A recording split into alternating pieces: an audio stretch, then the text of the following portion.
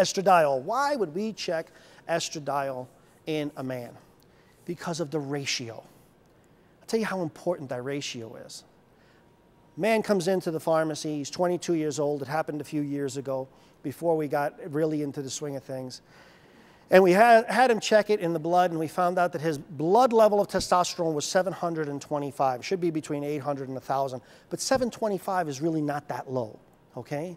But his estradiol level was at 100. Guess what? He came to us with a major complaint. The major complaint was he was growing breasts. I sat with him and I said to you, and I ask you now, okay? If you all want to put yourselves in his position, you're a 22 year old male and you're growing breasts. When you were 19, you were growing breasts. When you were 16, you were growing breasts. So what happened? You didn't, put, you didn't take off your shirt when your friends took off their shirt. When everybody else went to the pool, okay, you went home and did your homework. And because of the high estrogen comes depression. Why? No progesterone to offset it, which I'll get into later, okay? But here he is, he came to me and goes, If you can't help me, I don't know what I'm going to do. And I didn't understand what he meant by that. But we went through the route and we looked at the hormones. They said, we really don't have that big a disparity. I mean, that much, we can't supplement them testosterone, okay? Because what the problem is not he doesn't have enough testosterone. The problem is that he's converting his testosterone to estrogen. How do we stop that? Zinc. Zinc was low.